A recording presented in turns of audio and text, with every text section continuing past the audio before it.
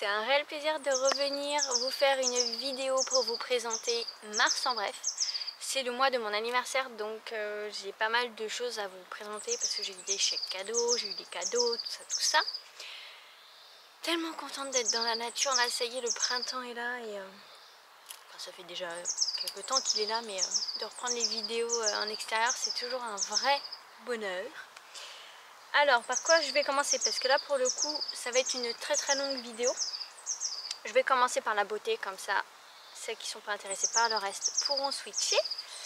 Je vous en ai parlé dans mon vlog, le shampoing de Nature et moi, le shampoing détox euh, que j'ai eu à moindre coût chez Nose. Et eh bah ben, écoutez, c'est vraiment un flop. Je vais le refiler à mon conjoint et à mon fils parce que ils ont les cheveux courts donc à mon avis euh, ça leur conviendra mais moi clairement euh, ils moussent pas donc c'est pas non plus catastrophique mais c'est vrai que ben ayant été euh, conditionné à avoir une belle mousse avec DOP, Garnier, Den Shoulders et compagnie ben c'est vrai que quand on en a plus on se dit oh, ça va pas laver alors que c'est n'importe quoi mais bon c'est psychologique.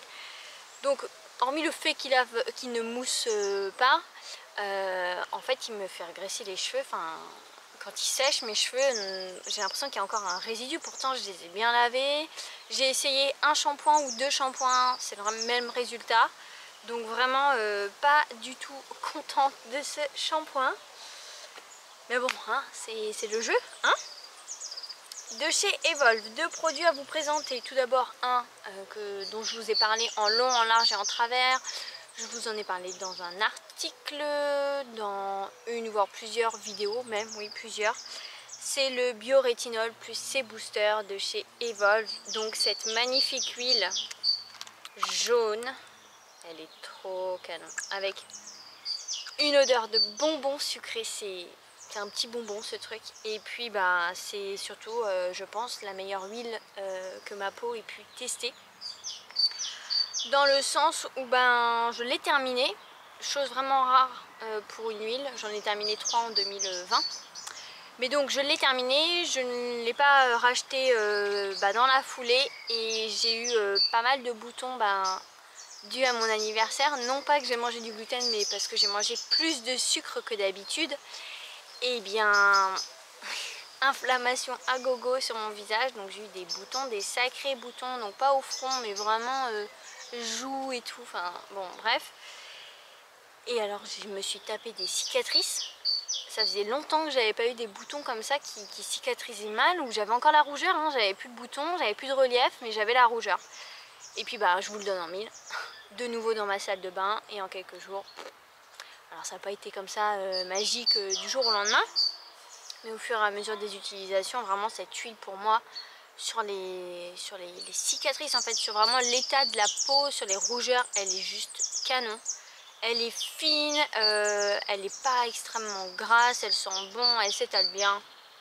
Elle n'est pas excessivement chère, franchement. Euh, c'est mon petit chouchou. Je vous en avais parlé dans ma vidéo s'il ne devait en rester qu'un spécial visage. J'hésitais entre la lapis d'herbivore, la biorétinol d'Evolve et la parfaite d'Ernest Ernest. Ben, maintenant vous savez que c'est celle-ci que je choisirai parce que c'est celle qui a les plus beaux effets sur ma peau. Euh, et la lapis et la parfaite, eh bien ce sont vraiment des huiles vers lesquelles je pourrais me tourner mais plus pour le côté sensoriel que le côté effet parce que ben, pour moi elles n'ont pas vraiment d'effet mais celle-ci euh, elle a tout pour moi. Et donc la Liquid Radiance Glycolic Toner, enfin le d'ailleurs. Donc c'est une lotion euh, liquide aux AHA et BHA et donc été vraiment intriguée pour, qu'elle, euh, pour voir si elle pouvait remplacer hum, l'élixir de clarté de chez Ococo. Et eh bien je l'avais commencé puis en fait je l'avais rangé et là je l'ai ressorti parce que du coup j'avais euh, mes petits boutons. Et en fait en deux jours j'ai remarqué comment ça me les a asséchés. C'était dingue en fait. Je les sentais encore mes boutons mais je sentais qu'ils étaient secs en fait. Il y avait simplement le relief il y avait plus euh, euh, ils n'étaient pas blancs ils me faisaient pas mal etc donc voilà je pense que c'est un bon petit dupe beaucoup moins cher parce qu'elle est aux alentours d'une trentaine d'euros enfin moins de 30 euros et donc on a dedans de la de l'extrait de saule blanc justement vous savez que moi j'adore le saule blanc Donc euh, on a des acides de fruits, de l'acide glycolique, de l'acide salicylique, d'écorce de saule. Euh, donc on a les acides de fruits, euh, de sucre de canne, myrtille, sève d'érable, orange douce et citron. Jus d'aloe vera, eau de fleur d'oranger. Donc ça c'est vraiment pour les actifs phares. Et puis ouais, après on a de la glycérine, mais c'est vraiment une compo très, très minimaliste. Hein. On a de l'eau, de l'eau de fleur d'oranger, de l'extrait de saule blanc, de la glycérine. Euh, donc on a l'acide de sucre euh, de canne, de myrtille, d'érable, encore de sucre de canne, de l'aloe vera, orange et citron. Donc ouais en fait, très très minimaliste. Au niveau de l'odeur, c'est assez léger. Je trouve que ça fait un petit peu euh, pharmaceutique, médical. je dirais pas vétérinaire, mais c'est une odeur un peu... Euh, euh, ça sent pas mauvais, ça sent pas euh, la fleur, ça sent le, ouais, le, médical quoi.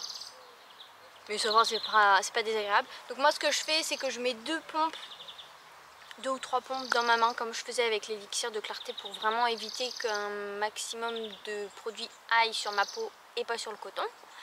Et donc je viens euh, bah, masser, appliquer. Et ce qui est assez drôle, c'est que lorsque je l'applique, ça me fait un peu comme un pré-sérum. Je sens que ça laisse une, matière. Il pourrait avoir un petit effet collant, très léger, parce que ça c'est vraiment un point euh, assez rédhibitoire pour moi. Mais euh, vraiment non, ça va. Et puis après j'enchaîne avec mon hydratant et mon huile. Et, et puis bah roule ma poule. D'ailleurs, je ne l'ai pas emmené avec moi oui, c'est vrai que la box Nio, je ne l'ai pas emmenée avec moi. Donc je vous l'ai présentée bah, dans mon dernier vlog avec le shampoing. J'ai reçu la box Nuo avec euh, donc un petit abonnement euh, chez euh, Namastrip pour faire un atelier ou une, sorte de retraite formation en ligne. Qu'est-ce que nous avions dedans également? Un petit baume de chez Les Petits Prodiges, senteur fleur de coton. Un hydratant de chez Madara et nous avions également la mousse nettoyante Coco Crème de chez Savon Stories. C'est ce produit-là que j'ai oublié. D'ailleurs, je l'utilisais principalement pour les mains, mais il m'est arrivé de l'utiliser pour le visage. Je vous avais dit que je ne l'utiliserais pas pour le visage. Euh, voilà, je l'utilise occasionnellement quand j'ai la flemme d'aller chercher mon nettoyant dans le, dans le placard. Et il est à portée de main et je me nettoie avec ça. Donc pour ma petite routine en ce moment c'est pas mal ça, le, liquide Liquid Radiance, l'hydratant de chez Madara et puis euh, l'huile de chez Evolve. Et côté maquillage, une poudre dont vous avez certainement dû entendre euh, parler, en tout cas c'est ce que j'ai compris. C'est la Cloud de chez Cosas. Cette poudre qui ne sent euh, strictement rien et qui, ma foi, je dois dire, est pas mal. J'ai terminé mon fond de teint euh, poudre colorisée que j'aime euh, énormément et donc elle tombait à pic. Je trouve qu'elle est moins couvrante que la colorisée mais de peu, mais quand même, celle-ci elle est plus légère. Par contre effectivement c'est vrai qu'on ne la sent pas du tout sur la peau. elle fait bien tenir le maquillage, en tout cas plus longtemps que d'habitude. Après, euh, faut pas se en fin de journée, en tout cas dans mon cas, euh, je vois mes rougeurs, euh, mais c'est vrai que elle vraiment, elle, elle, floute vraiment la peau et elle unifie le teint, donc c'est pas mal appréciable. Donc euh, je suis contente parce que je pense que j'en ai pour euh, un petit moment et j'aime beaucoup le format parce que la colorisée elle est en panne rectangulaire et en fait ça creuse le milieu et après les coins se cassent et puis ben, après euh, c'est un peu galère quoi. Donc là je pense que ça va être beaucoup plus pratique. Ce que je fais c'est que je, je, ne fais pas ça avec mon pinceau, je le, je le frotte en fait et après je viens tapoter sur, sur mon visage. Et donc juste avant, j'utilise en ce moment, parce que c'est vrai que j'ai arrêté d'utiliser du fond de teint depuis que je l'ai reçu, c'est le concealer de chez Cosas. Voilà, je sais même pas comment il s'appelle, il a un petit nom celui-ci. En tout cas c'est pas euh, noté. Alors, il est, si je vous le compare avec le, Fit Glow hein, que j'ai essayé en long, en large et en travers, il va être plus liquide plus fluide que le colorisi donc du coup il va mieux se travailler parce que c'est vrai que le colorisi il faut quand même pas mal l'étaler. Il est assez euh, pas compact mais il y a vraiment de la matière qui en plus est assez grasse. Là c'est vraiment quelque chose de plus bah, fluide liquide à queue quoi. Et celui-ci je trouve qu'il se travaille mieux au pinceau euh, qu'au doigt. En tout cas pour la couvrance que je veux euh, j'ai une meilleure couvrance lorsque je l'applique au pinceau, notamment le pinceau Veipour fond de teint, euh, qu'au doigt. Tandis que le Fit Glow, c'est vrai que j'aime bien l'appliquer au doigt. Donc euh, voilà, et il tient pas mal euh, quand même la journée. Donc en fait, ce que je fais depuis que je l'ai, c'est que je fais un peu mon teint avec le correcteur, ce que je faisais avec le Fit Glow. Mais, je pense que je vous ferai peut-être une, vidéo avec ces deux produits-là. Et puis le fond de teint Kervice pour que vous puissiez les voir en application. Voilà pour, la côté, pour le côté beauté.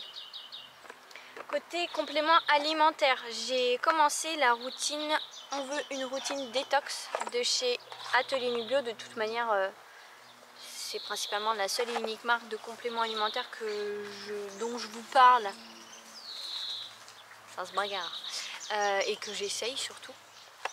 Parce que selon les compléments alimentaires, pas tous, mais j'ai quand même de très bons résultats. En fait, celui-ci, c'était la première routine qu'on m'avait proposé au tout début d'essayer. Mais j'avais dit, on veut un... Enfin, il y a...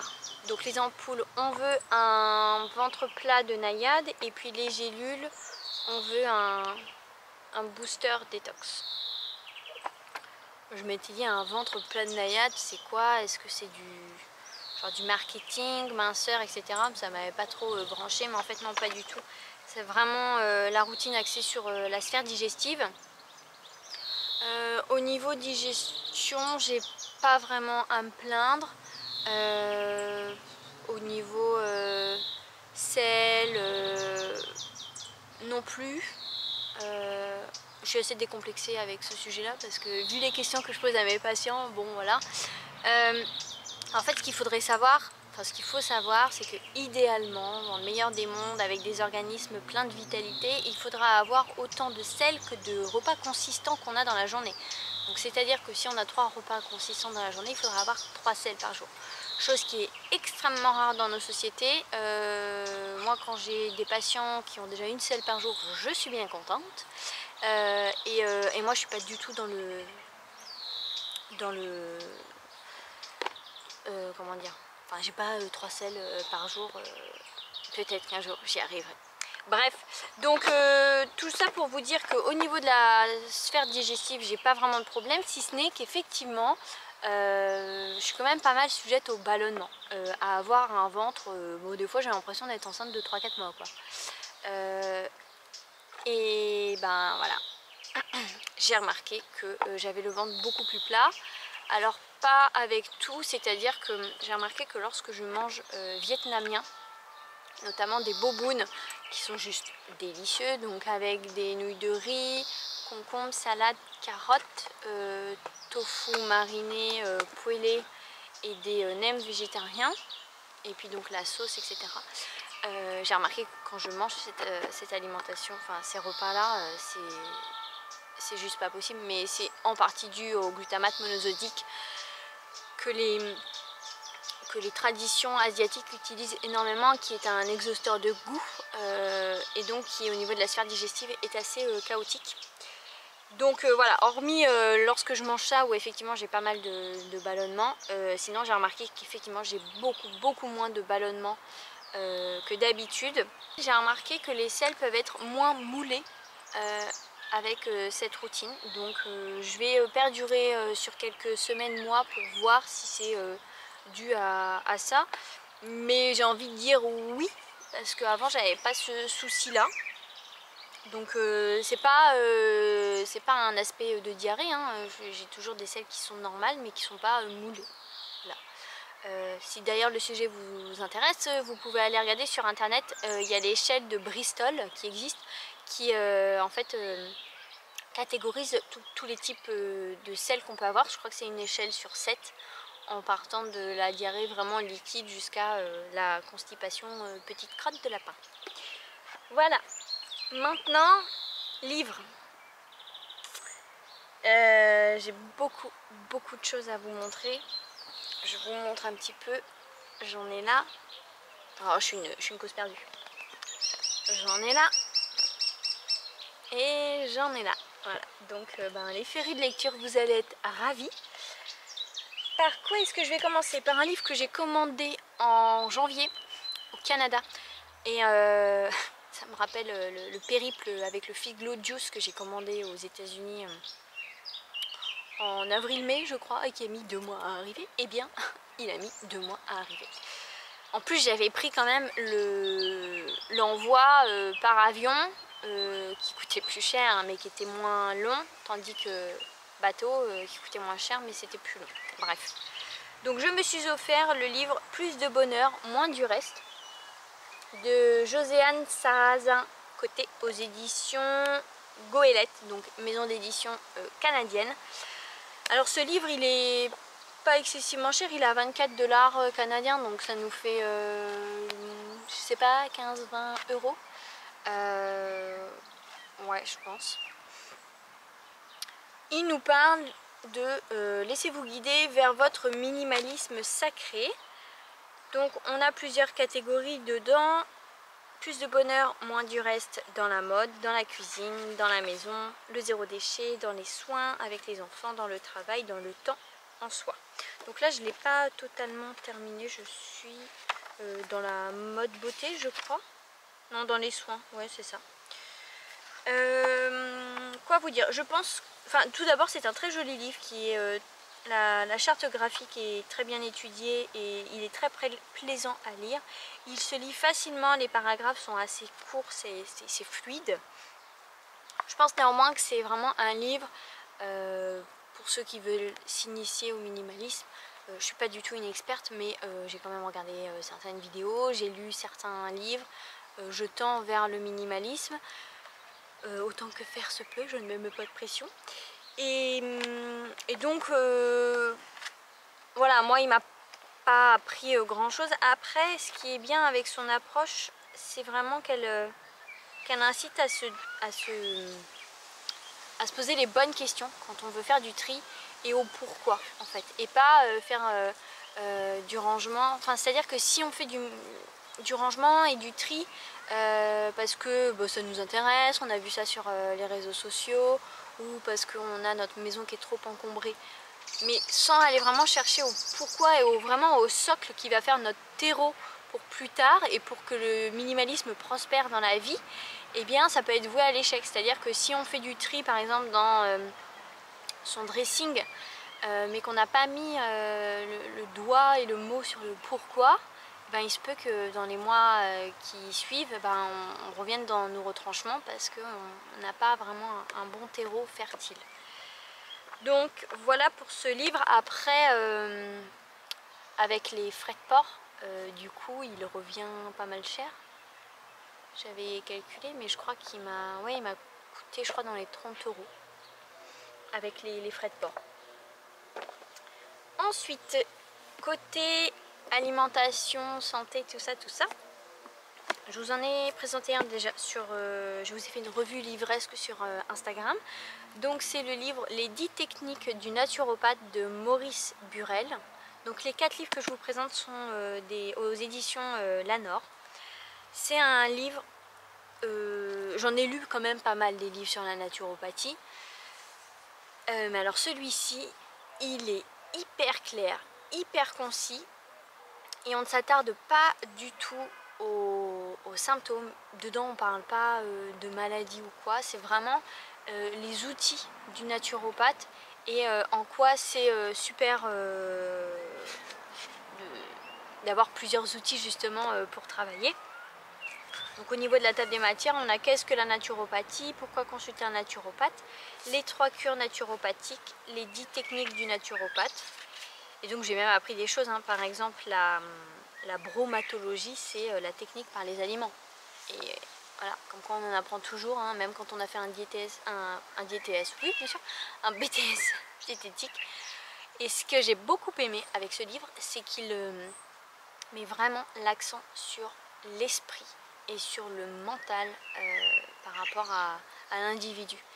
Et travailler sur uniquement le corps physique et en omettant le corps psychique, mental, émotionnel, spirituel, on est voué à l'échec parce qu'on ne prend pas la personne dans sa totalité. Voilà, qui est quand même euh, l'un des, principes même de, de la naturopathie, hein, d'avoir une vision euh, globale et holistique.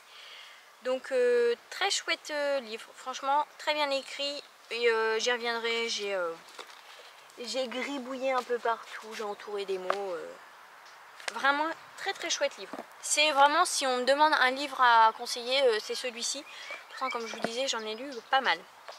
Là, en ce moment, j'ai commencé donc du docteur Raphaël Pérez, les combinaisons alimentaires pour mieux digérer. J'en suis à la moitié. En fait, Raphaël Pérez, c'était mon prof de méthode de détoxination dans ma formation.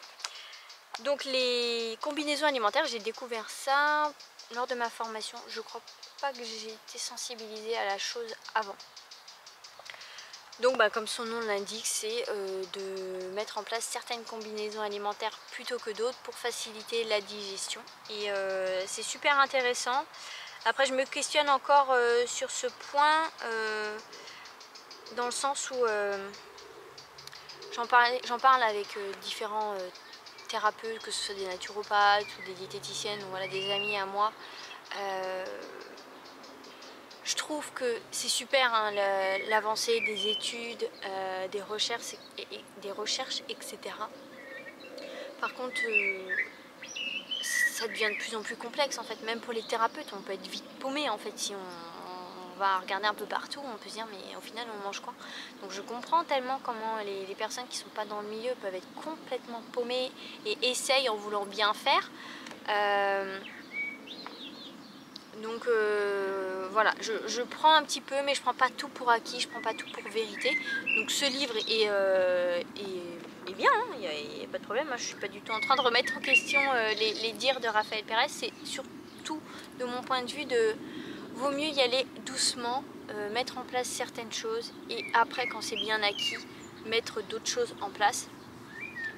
Euh, les combinaisons ça peut être intéressant mais je pense que c'est pas euh, le plus important et la première chose à mettre en place quand on veut modifier son hygiène de vie. Mais voilà, ça reste tout de même très intéressant. Toujours de Raphaël Pérez, le diabète n'est pas une fatalité, recette, prévention et prise en charge. Il faut savoir qu'il est, euh, docteur en, pharmacie et puis bah, il s'est spécialisé dans euh, l'alimentation. Donc celui-ci, euh, j'ai hâte de le lire, mais vu qu'il est un peu plus costaud, je vais, me, laisser le, temps. Au niveau du sommaire, qu'en est-il Je vais vous dire ça de suite. On a des recettes à la fin. Dans le combinaison alimentaire également, on a des recettes.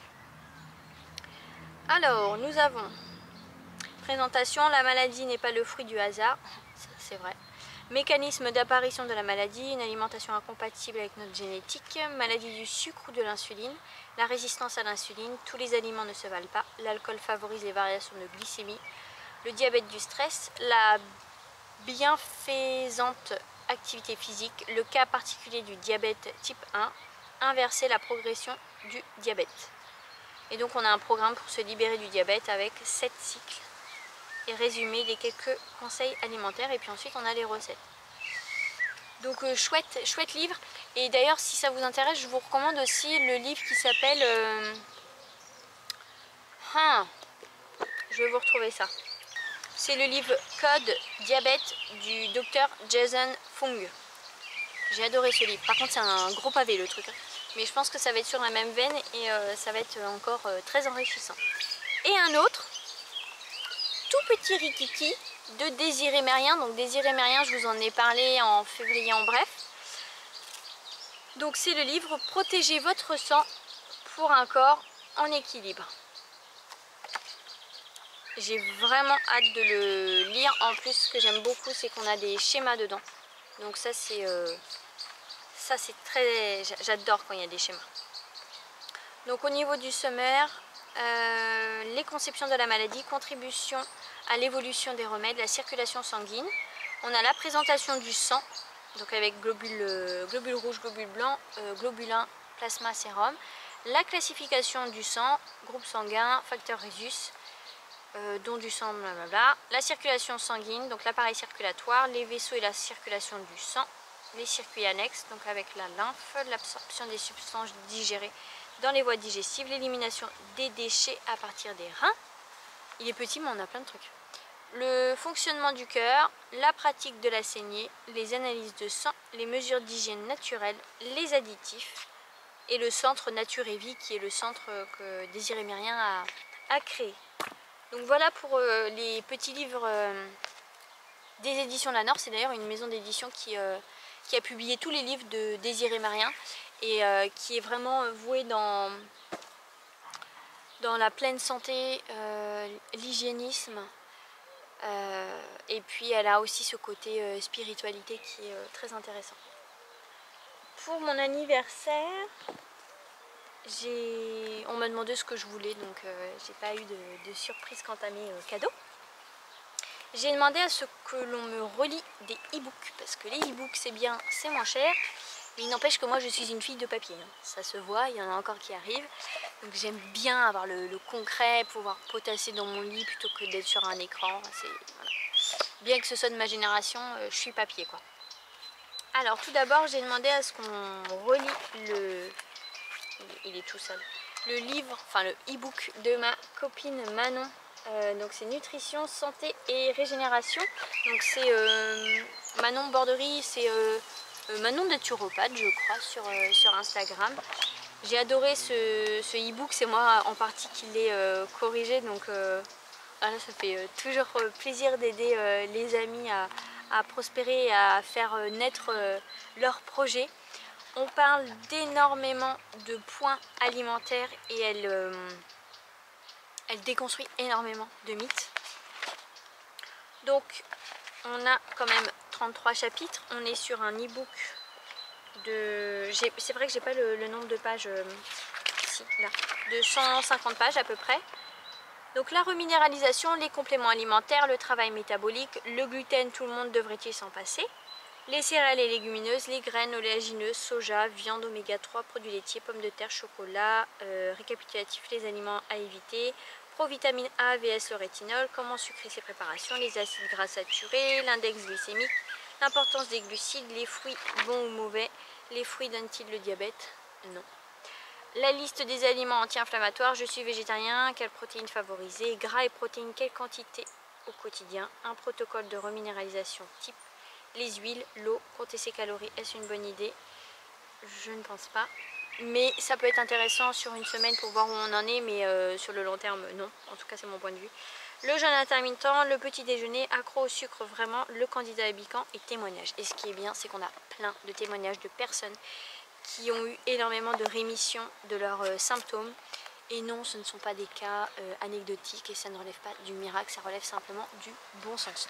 Donc vraiment, ce petit e-book, en plus il est 20 euros, 25 grand maximum je crois. Je sais qu'elle avait fait une offre au début, donc là j'ai pas regardé à combien il était, mais euh, une pépite. Et puis deux autres pépites aussi. Ceux-là, ils sont euh, beaucoup plus costauds. On est sur deux e-books, de tous les deux pratiquement 200 pages. Donc ce sont les e-books que je me suis offert. Euh, bah, le premier est sorti pendant le confinement en mars-avril et puis le deuxième est sorti euh, septembre-octobre, quelque chose comme ça.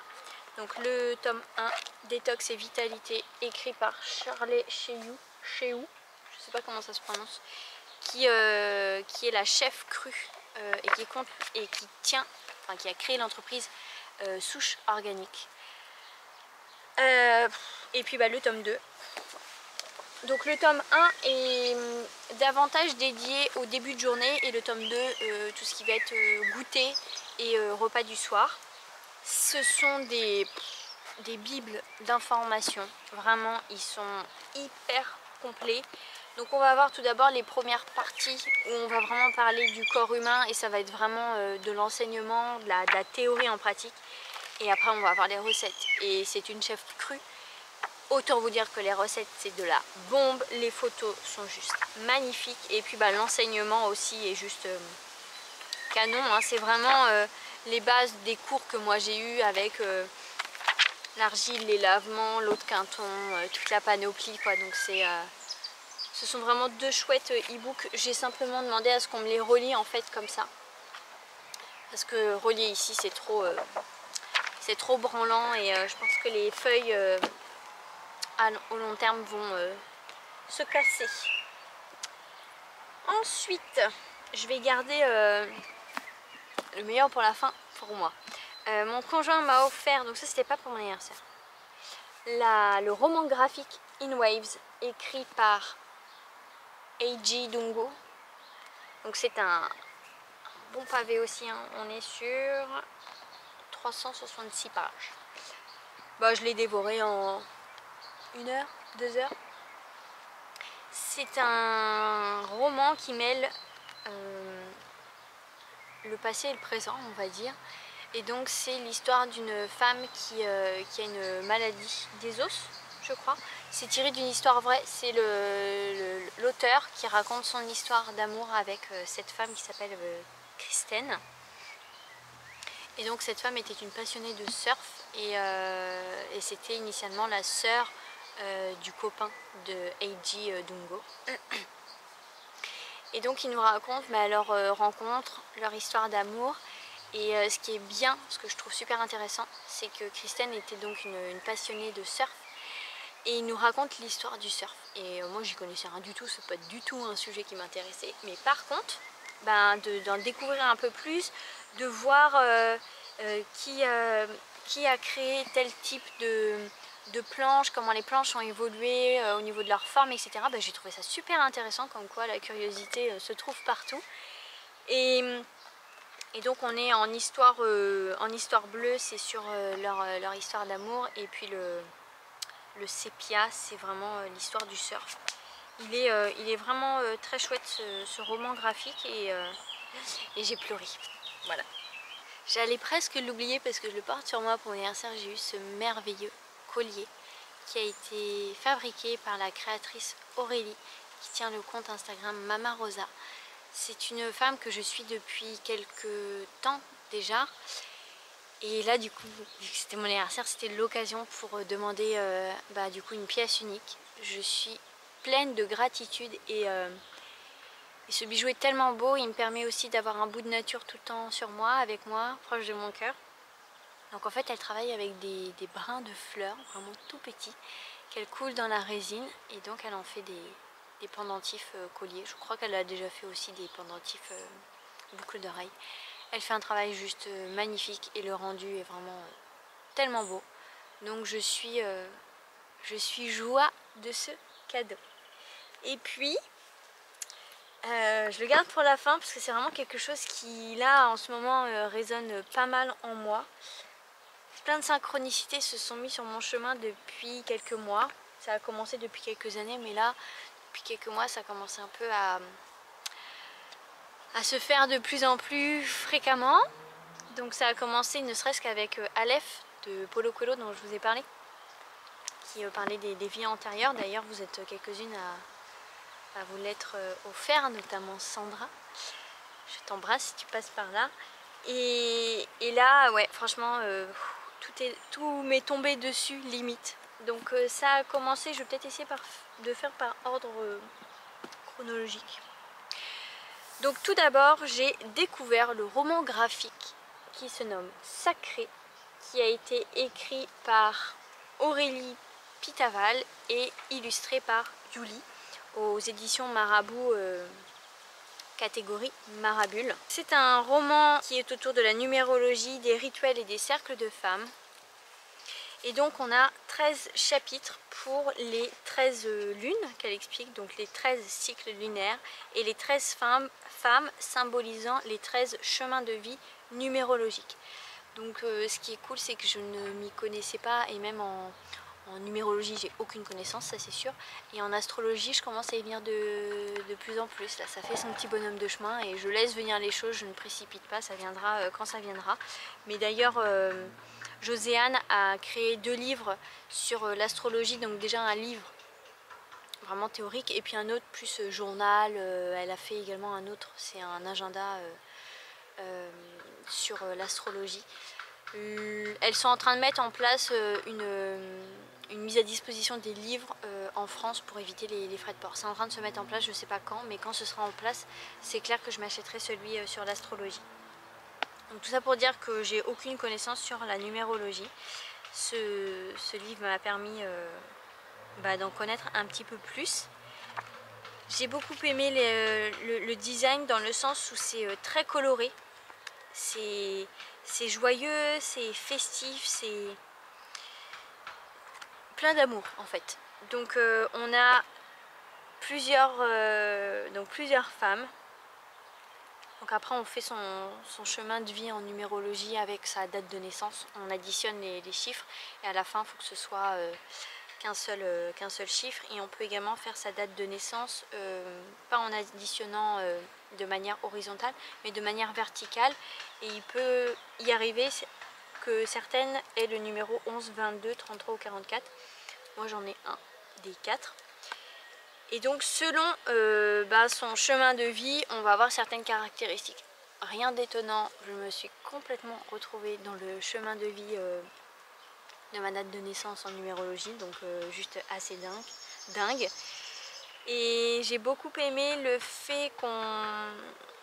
En fait, vous voyez, j'ai remarqué, euh, c'était pareil la dernière fois avec euh, en février en bref, là quand je vous parlais de soul dating, des livres où j'arrive pas à, vous exprimer vraiment ce, que je ressens. Il va falloir que je travaille dessus.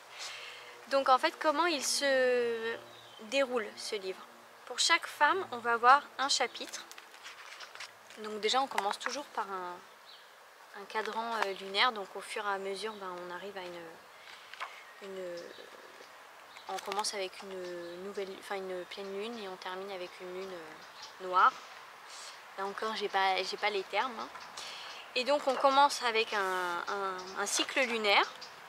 On a après un, chemin de vie qui explique vraiment les, caractéristiques de, ce chemin. Et puis ensuite, euh, ça part sous forme de BD.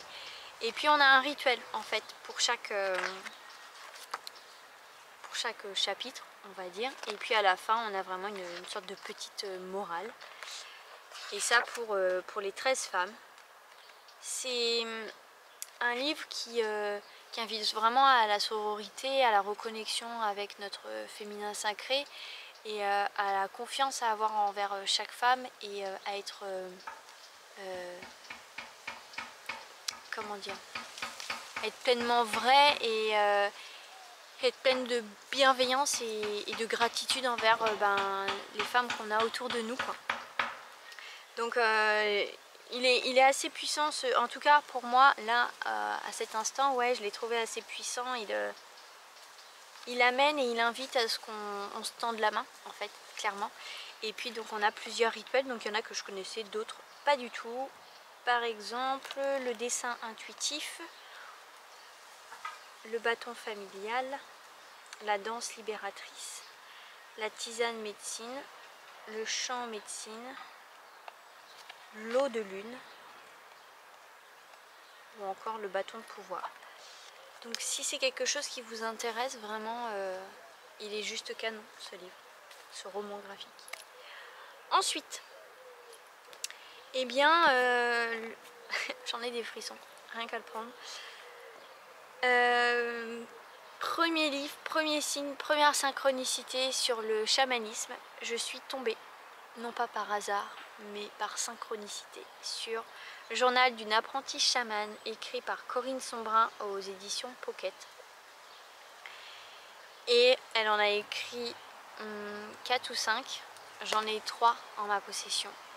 J'ai pas commencé le troisième, mais il faut savoir que les deux premiers, je les ai mais dévorés. Ils m'ont happé. L'écriture de Corinne est juste dingue. Elle a des phrases très courtes. On est sur un format euh, journal intime euh, donc euh, un, récit autobiographique. Donc on est vraiment... C'est un peu, je trouve, les, journaux comme ça, comme un journal intime. En tout cas pour moi, ça, ça, ça, éveille un peu cette curiosité comme si on trouvait un journal intime et que ben, c'est peut-être un peu vicieux, mais on le lit et, et, on se dépêche et puis on découvre plein de choses. Et en fait là, c'est ça ce qui s'est passé, mais mais, pas vraiment dans ce côté euh, voyeuriste, pas du tout. C'est vraiment que son, son histoire m'a tellement touchée. Donc le premier se déroule en Amérique du Sud et le deuxième en Mongolie. Et pour les personnes qui aiment les lectures de voyage, vous allez être servis parce que clairement là je ressentais euh, l'humidité de la jungle, les bruits, les animaux, j'étais vraiment dans, cet univers là. Et en Mongolie, bah, on, est vraiment dans cette euh, atmosphère de tipi, de froid, d'animaux euh, sauvages qu'il n'y a pas du tout dans nos contrées. Et leur, alimentation, enfin vraiment c'est...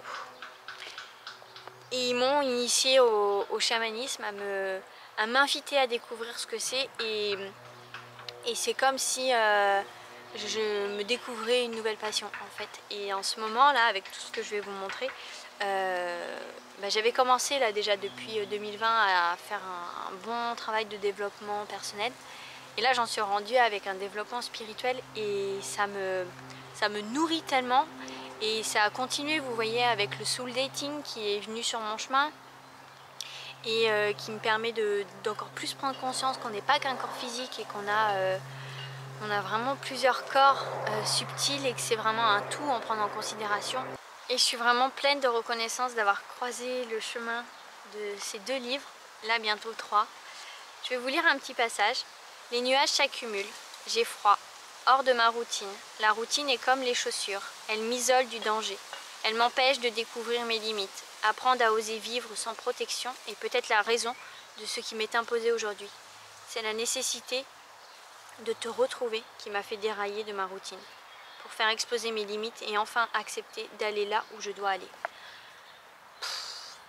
ça rentre tellement en résonance avec moi, avec ce que je vis en ce moment et euh, mon Dieu. Donc là on est euh, sur le troisième, donc les tribulations d'une chamane à Paris. Je vous ai pas présenté le deuxième mon initiation chez les chamans, une parisienne en Mongolie. Et donc là, c'est euh, vraiment, elle explique, j'ai lu la quatrième du coup, euh, ça se passe sur Paris. En fait, elle va expliquer euh, bah, comment ça se passe le, début de son, de son chamanisme, de ses premières consultations, on va dire. Donc bah, j'ai hâte, j'ai hâte, il me tarde. Et Là encore, synchronicité. Peut-être que certaines se rappellent d'Aurore qui tenait le blog Bonheur au naturel. Euh, moi je la suivais euh, à l'époque et puis je me suis désabonnée euh, de, de son compte parce qu'elle elle, allait sur un chemin qui n'était pas le mien pour le moment. Donc voilà. Et puis bah, plusieurs synchronicités se sont mises encore une fois sur mon chemin. J'ai pourquoi est-ce que je me suis réabonnée à son compte et que je suis tombée dessus? Je sais plus tellement. Toujours est-il que je me suis réabonnée, euh, je crois que c'est euh, avec le livre euh, Corinne Sombrin et je me suis rappelé que justement Aurore était un peu dans ce chamanisme, etc. Et donc je crois que c'est pour ça que je me suis réabonnée à son compte. Et puis, et puis bah, j'ai vu qu'elle mettait en place une formation et puis un autre jour, je suis allée à la FNAC, je feuilletais les livres et je suis tombée sur ce livre. Je ne savais pas qu'elle avait écrit, écrit un nouveau livre qui se nomme Un autre monde aux éditions First qui est sorti en février 2021. Donc on est également sur un gros bébé de plus de 300 pages avec euh, une couverture mate. C'est pas des, de mes plus préférés, je trouve qu'elle va vite s'abîmer. Par contre les, les, pages ont un grammage assez épais et bah, je suis en train de le dévorer, c'est-à-dire qu'on est jeudi, je l'ai commencé mardi, il me reste ça. Hier je me suis couchée à 1h du matin pour le lire, vous voyez le, truc quoi. Il y en a c'est avec les séries, moi c'est avec les livres. Hein. Pas de jugement, euh, chacun fait bien ce qu'il veut. Et donc là également on est sur un journal et elle relate tout ce qui lui est arrivé en 3 ans. Et je me dis mais mon dieu, la fille a une vie de dingue en 3 ans toutes les synchronicités qui se sont mises sur sa route à partir du moment où elle a bien voulu les voir et les entendre, tous les thérapeutes qu'elle est allée voir, toutes les formations qu'elle a mises en place et l'évolution, c'est waouh en fait, c'est juste dingue et c'est tellement inspirant et en fait justement une, une médium qu'elle est allée voir, mais pas du tout dans l'aspect divinatoire. Elle lui a dit qu'elle allait être une femme d'éveil et de porteuse de beaucoup de projets et porteuse de, personnes et qu'elle allait être hyper inspirante, bah franchement ça m'étonne pas du tout. Et voilà, et donc elle, a mis en place là tout dernièrement une formation sur l'entrepreneuriat conscient et je suis euh, reconnaissante euh, à la vie de pouvoir me permettre de, participer à cette formation. J'ai tellement, tellement, tellement hâte. Donc euh, voilà. Et puis, toujours dans ce côté spiritualité, et eh bien, les oracles se sont mis sur mon chemin. Donc je possédais déjà l'oracle Mission de vie d'Isabelle Cerf. Peut-être me bouger là parce qu'avec... j'ai un grand pif. Voilà, je vous ai rapproché pour pas que vous me voyez trop avec des ombres chinoises sur le visage. Donc euh, je disais que j'avais déjà l'oracle Mission de vie d'Isabelle Cerf. Et hum, voilà, c'est un oracle mais je l'utilisais pas euh, très très euh, souvent. Et là, bah, justement avec mes chèques cadeaux d'anniversaire, eh bien je me suis offert des oracles. Il y en a un que mon conjoint m'a offert mais les deux autres je me les suis offert avec. Donc le premier que j'ai commandé, c'est le petit oracle de la mission de vie aux éditions Très Daniel, qui a été écrit par Jenna Blossom. Donc on est sur des cartes euh, assez peu communes parce qu'elles sont euh, rectangulaires. On est sur une tranche qui est euh, argentée et on a derrière un petit dessin justement d'un schéma qui a été dessiné par la maman de Jenna. Et donc pour chaque carte, on a un message qui est quand même assez court. Ça va droit au but. Donc c'est facile à, à, battre, je trouve. C'est voilà, pas, pas, bien compliqué. C'est pas celui que j'ai utilisé le plus. par contre, il est, il est vraiment... vu qu'il est hyper clair, concis et rapide, bah, tirer une carte, voilà, on n'a pas un grand texte à lire. On lit le petit passage et, et c'est bon et roule ma poule. Donc euh, au début je voulais tirer une carte tous les jours et puis en fait je me suis rendu compte que c'est pas... Pour l'instant c'est parce que ce qui m'allait le mieux. Donc là je tire une carte quand, euh, quand mon intuition euh, bah, me le demande.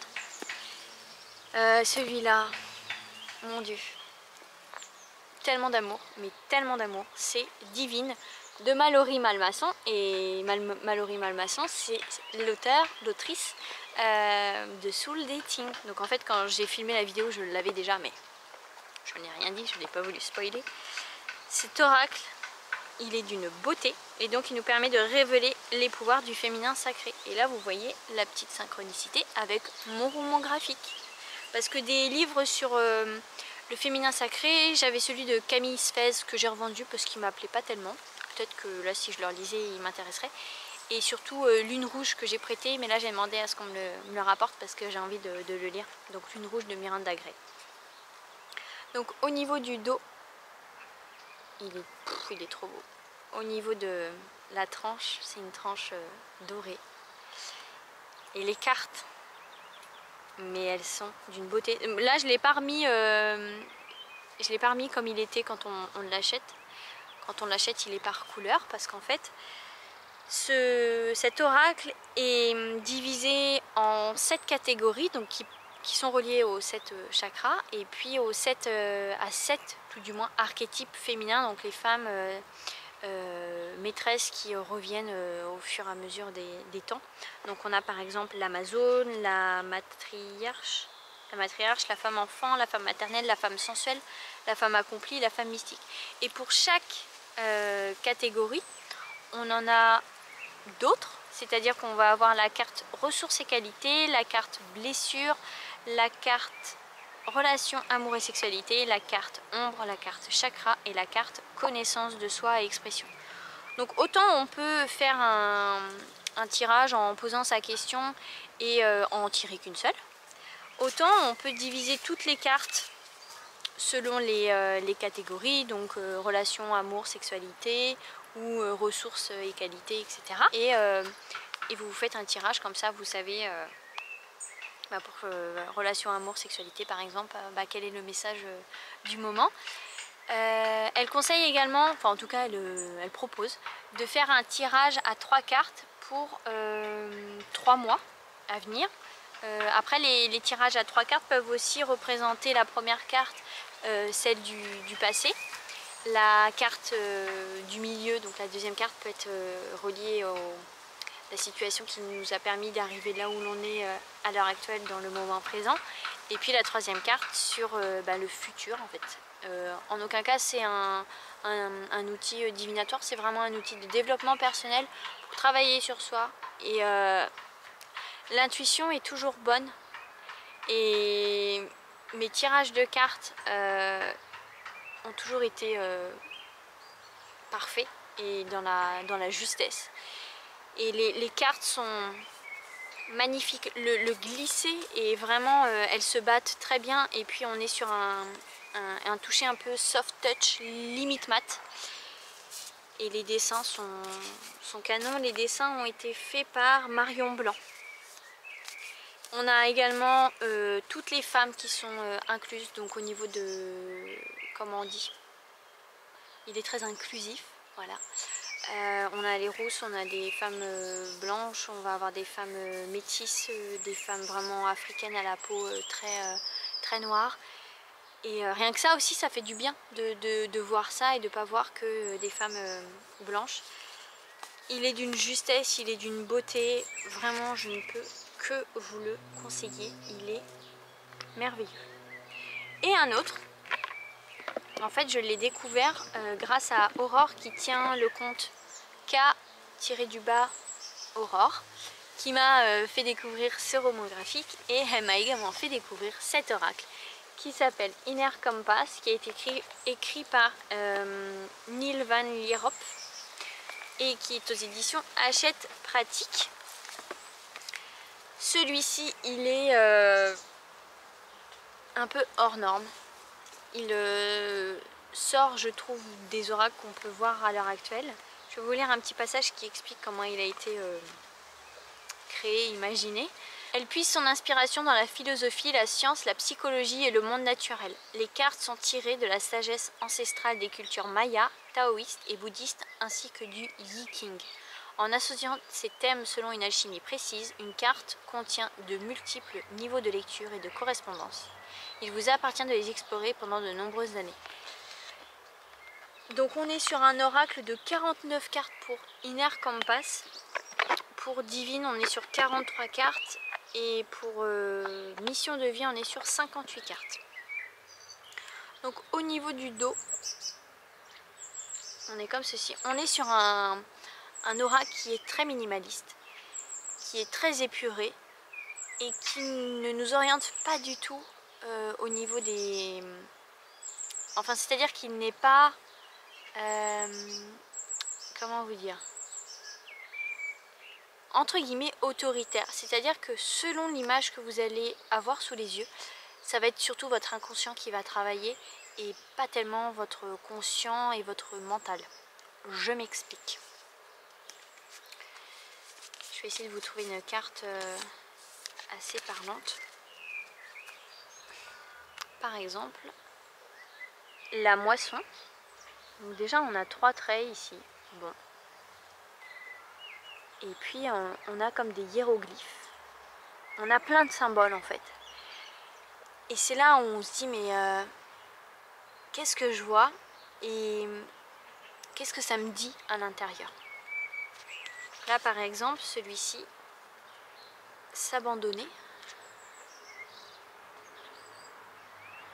Dans un seul dessin, on en a plein. Vous voyez, on a déjà un carré, ensuite on a un triangle. À savoir que les triangles, selon leur... Euh, euh, je crois que ce, format-là, c'est euh, le ciel ou l'air. Je ne mettrai pas ma main à couper, mais en tout cas, ça représente les quatre éléments selon la disposition du triangle. On voit une main. Est-ce que c'est une main qui, donne ou est-ce que c'est une main qui reçoit? On voit une forme de, de coquillage aussi, là. Mais après, vous voyez peut-être d'autres choses que moi, je ne vois pas. Et là aussi, les tirages ont toujours été d'une justesse. Et hum, quand je vous dis qu'il est minimaliste, la quiétude. Et vous voyez, en bas, à chaque fois, on a des symboles différents. Voilà. C'est des cartes qui nous, qui je trouve, nous recentrent et nous, euh, nous apaisent, clairement. Autant physiquement que mentalement. Il est, il est magnifique. Donc là, je vous ai présenté qu'un tas, mais euh, j'en ai encore euh, plein d'autres. Vraiment, il est, il est juste euh, magnifique. Voilà pour ce mois en bref qui a été très chargé et,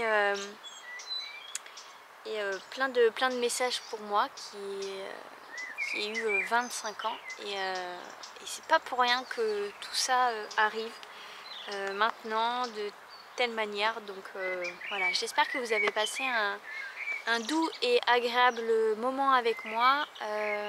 N'hésitez pas à me faire un petit coucou en commentaire, ça me fera grand plaisir. Je constate le fait d'être partie d'Instagram, que du coup vous êtes ben, moins, moins active en commentaire. C'est pas un jugement, c'est simplement un, constat et je l'accueille. Mais euh, voilà, n'hésitez pas à me faire un petit coucou et ça me fera euh, plaisir d'avoir euh, de vos nouvelles. Si jamais vous avez des recommandations d'oracles que vous aimez ou de lecture ou de cosmétiques, n'hésitez pas.